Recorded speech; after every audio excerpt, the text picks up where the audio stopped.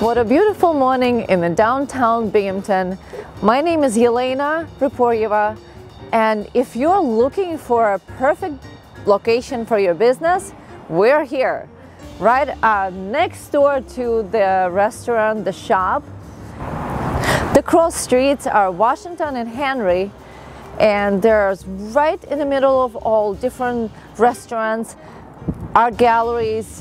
Across the street is the forum and the most important thing, it's a ground floor, great foot traffic, and the Court Street is one block away. We're just in the greatest location it can be.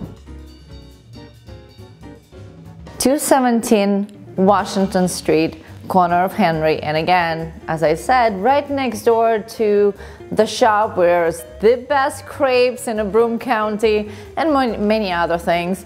Also, we're right next door to the Garage Restaurant, and around the corner there's uh, uh, the Lost Dog.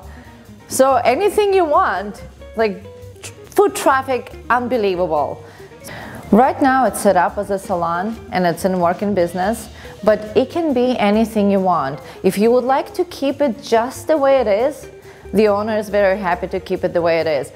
But if you want to make a different business, it is also available.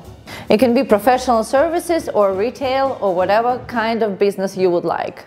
This is a prime location for lease in downtown Binghamton.